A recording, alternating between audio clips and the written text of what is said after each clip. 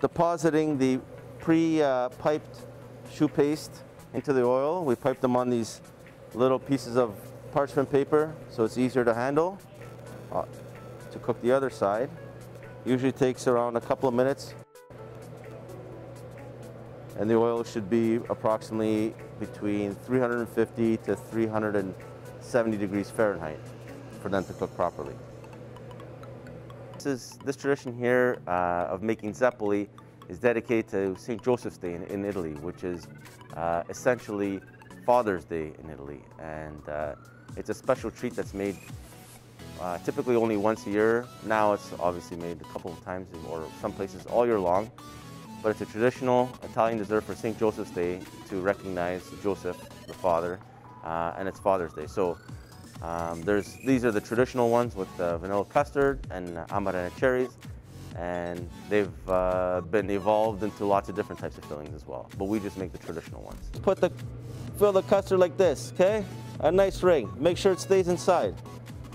Get some of the cherry pieces here.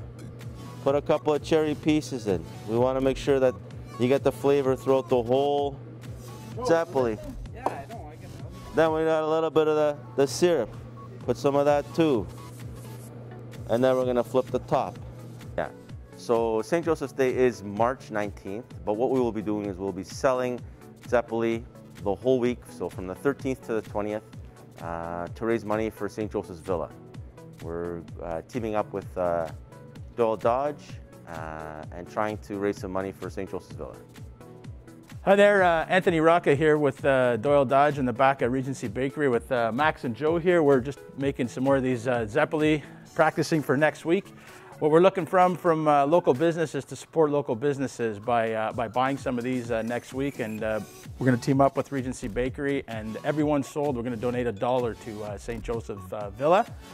So any time you want to order them during the week, you can just call into the bakery and place your order.